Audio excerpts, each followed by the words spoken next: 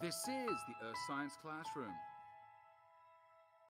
This video is on Earth's biomes. It is part of the Earth as a System playlist, and we're looking at a biome which is a smaller version of the biosphere in general, and the different biomes on Earth. And you can also have different ecosystems within each biome, which really is a large area dictated by certain flora or fauna, which is dictated by various factors, one of which is the climate, which includes temperature and precip.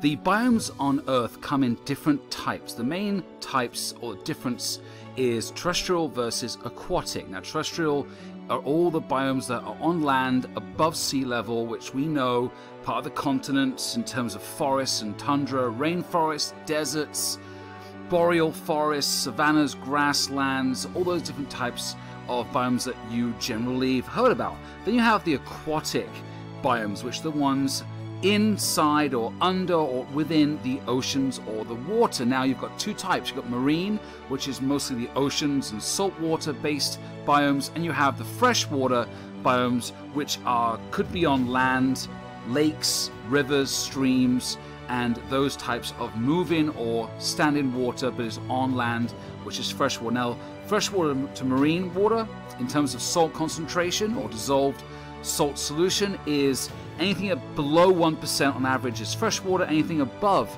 1% is ocean, and the oceans are around 3.5% solution of salts on average.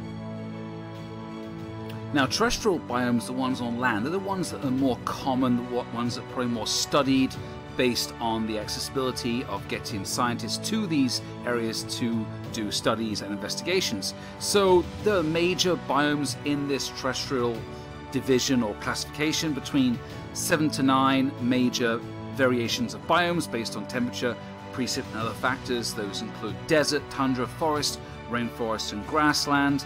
And pretty much you get a certain flora and fauna in each type of terrestrial biome. Then we have our marine biome, which again is saltwater based oceans in terms of the five major oceans. Now, in terms of the land or the surface of the earth, most of the earth is covered in ocean, about 70%, about 83% in the southern hemisphere, and about 6% in the northern hemisphere. But generally, you have a planet which is mostly ocean covering the surface, with a small percent of land, about 30%. Now, in terms of life and species of life, about 90% of all life is in the oceans, which is a crazy thought to, to consider because we're used to so much life here on the land and the terrestrial biomes.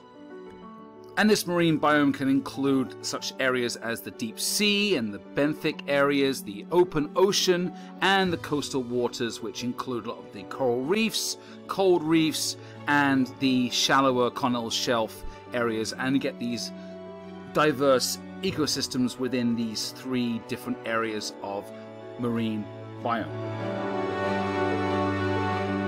Then we have our freshwater biome, again part of the aquatic biome classification. It has a salt concentration of less than 1%, so we generally call it freshwater. So this includes all the limnology and the hydrology on land, which is going to be the rivers and lakes and streams, brooks from the largest rivers like the Amazon, Nile, and the Ganges and the Yangtze, to the small brooks and streams and creeks you get maybe all around the areas of the coastlines on the continents, and you can get the surface water and the underground reservoirs, the groundwater as well, and looking at two main types of freshwater biomes is the lentic, which is usually the slower moving water or standing water, which is going to be any kind of deposits of water like lakes and ponds, and then you get the fast moving sources of freshwater biomes, which is going to the streams and rivers, and those are called lotic. So you have lotic and lentic, the different types of freshwater biome.